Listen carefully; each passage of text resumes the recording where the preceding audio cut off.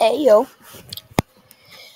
If you guys don't already know, I have a Patreon page. Here.